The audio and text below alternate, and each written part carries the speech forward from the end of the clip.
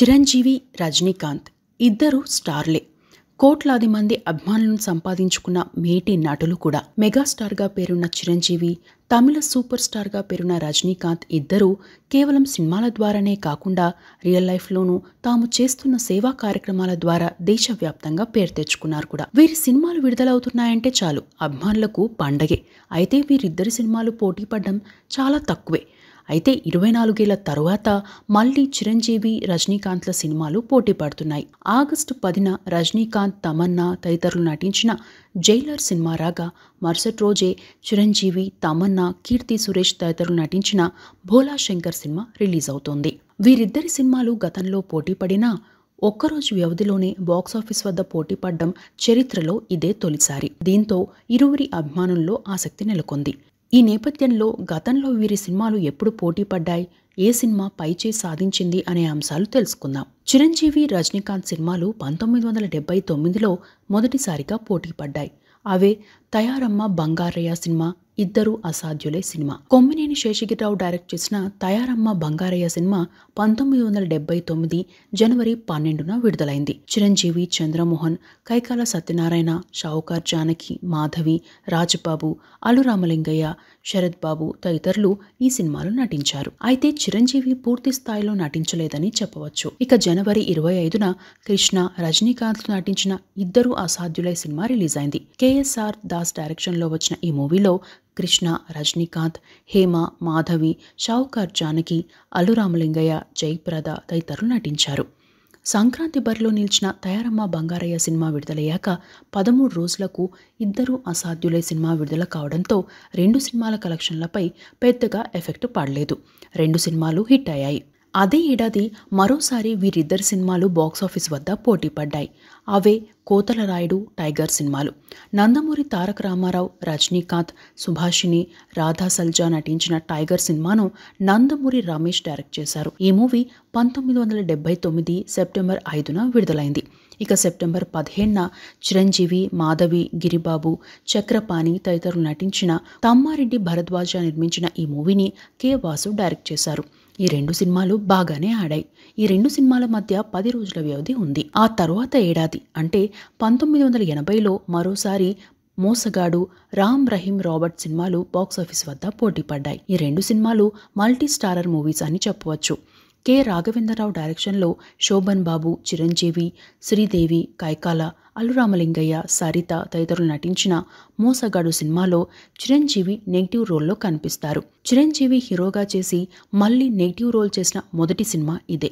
ఈ సినిమా పంతొమ్మిది వందల ఎనభై మే ఇరవై రెండున విడుదలైంది. ఇక కృష్ణ రజనీకాంత్ శ్రీదేవి చంద్రమోహన్ అంజలిదేవి జగ్గయ్య తదితరులు నటించిన రామ్ రాబర్ట్ రహీం సినిమా కూడా పంతొమ్మిది వందల ఎనభై మే ముప్పై ఒకటిన విడుదలైంది. ఈ రెండు సినిమాల్లోనూ శ్రీదేవి హీరోయిన్గా నటించారు. విజయ్ నిర్మల ఈ మూవీని డైరెక్ట్ చేశారు. ఈ రెండు సినిమాలకు మరో సారూప్యత ఏంటంటే రామ్ రాబర్ట్ రహీం సినిమా పంతొమ్మిది వందల డెబ్బై ఏడులో హిందీలో వచ్చిన అమర్ అక్బర్ ఆంటోనీకి రీమేక్ కాగా మోసగాడు సినిమాను హిందీలో వచ్చిన ఖాన్ దోస్త్ సినిమాకు రీమేక్గా తీశారు. వారం వ్యవధిలో ఈ సినిమాలు విడుదలయ్యాయి. రెండు సినిమాలు ఆడియన్స్ను మెప్పించాయి. ఆ తర్వాత వీరిద్దరి సినిమాలు బాక్సాఫీస్ వద్ద పోటీ పడేందుకు దాదాపుగా పంతొమ్మిదేళ్ళ సమయం పట్టింది. అవే ఇద్దరు మిత్రులు నరసింహ సినిమాలు. పంతొమ్మిది వందల తొంభై తొమ్మిది ఏప్రిల్ పదిన నరసింహ సినిమా విడుదలైంది. రజనీకాంత్ నటించిన మరుపురాని చిత్రాల్లో ఇది కూడా ఒకటి. కెఎస్ రవికుమార్ డైరెక్షన్లో శివాజీ గణేశన్ రమ్యకృష్ణ సౌందర్య లక్ష్మి నాజర్ అబ్బాస్ తదితరులు నటించిన ఈ సినిమా బాక్సాఫీస్ వద్ద కలెక్షన్ల వర్షం కురిపించింది. తమిళ సంవత్సరాది రోజున విడుదలై ఈ సినిమా ఐదు తమిళనాడు స్టేట్ ఫిల్మ్ అవార్డులు సొంతం చేసుకోవడంతో పాటు రమ్యకృష్ణకి బెస్ట్ యాక్ట్రెస్గా ఫిల్మ్ఫేర్ సౌత్ అవార్డు వచ్చింది. అయితే పంతొమ్మిది వందల తొంభై తొమ్మిది ఏప్రిల్ ముప్పైన చిరంజీవి సాక్షి శివానంద్ రమ్యకృష్ణ సురేష్ చంద్రమోహన్ తదితరులు నటించిన ఇద్దరు మిత్రులు సినిమా విడుదలైంది. కె. రాఘవేంద్రరావు డైరెక్ట్ చేసిన ఈ సినిమా మాత్రం ఆశించినంత ఆకట్టుకోలేకపోయింది. ఈ రెండు సినిమాల్లోనూ రమ్యకృష్ణ నటించారు. ఇక అప్పటి నుండి వీరిద్దరి సినిమాలు పోటీ పడలేదు. అంతేకాదు ఒకే రోజు వ్యవధిలో వీరిద్దరి సినిమాలు విడుదల కావడం కూడా ఇదే తొలిసారి. రజనీకాంత్ హీరోగా నెల్సన్ దిలీప్ కుమార్ రూపొందించిన జైలర్ ఆగస్టు పదిన రాగా ఈ మూవీలో మలయాళ అగ్రనటుడు మోహన్ లాల్ కన్నడ ప్రముఖ నటుడు Shivaraj Kumar Bollywood star Jackie Shroff Tamannaah Ramyakrishna Sunil Yogi Babu తదితరులు నటించారు. ఇక చిరంజీవి హీరోగా దర్శకుడు మెహర్ రమేష్ తెరకెక్కించిన భోలా శంకర్ ఆగస్టు పదకొండున ప్రేక్షకుల ముందుకు వస్తుంది. తమిళంలో అజిత్ హీరోగా చేసిన వేదాళం సినిమా సూపర్ హిట్ అయింది. ఆ సినిమా స్టోరీ లైన్తో వస్తున్న భోలా శంకర్ సినిమాలో కీర్తి సురేష్ సునీల్ సుశాంత్ తదితరులు నటించారు. ఈ రెండు చిత్రాల్లోనూ హీరోయిన్ తమన్నా నటించడం విశేషమనే చెప్పవచ్చు. ఇక వీరిద్దరూ కలిసి పలు సినిమాల్లో నటించారు కూడా.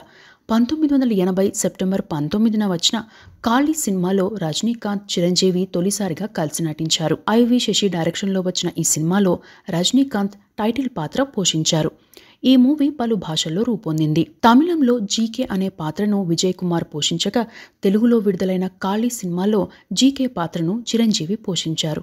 ఆ తర్వాత పంతొమ్మిది వందల ఎనభై ఒకటిలో ఎస్పి ముత్తురామన్ డైరెక్షన్లో వచ్చిన రనువ వీరన్లో వీరిద్దరూ కలిసి నటించారు. రజనీకాంత్ శ్రీదేవి చిరంజీవి తదితరులు ఈ సినిమాలో నటించారు. ఇదే సినిమాని తెలుగులో పంతొమ్మిది వందల ఎనభై రెండులో డబ్ చేసి బందిపోటు సింహం పేరుతో విడుదల చేశారు. తెలుగులో ఈ సినిమా హిట్ అయింది. ఈ మూవీని తరువాత హిందీలో జుల్మ్ పేరుతో రీమేక్ చేశారు. అయితే రనువ వీరన్ సినిమా తమిళంలో మాత్రం విఫలమైంది. ఇక రజనీకాంత్ చిరంజీవిల అనుబంధం విషయానికి వస్తే చిరంజీవి యాక్టింగ్ స్కూల్లో చేరినప్పటి నుండి వీరిద్దరి మధ్య అనుబంధం ఉంది.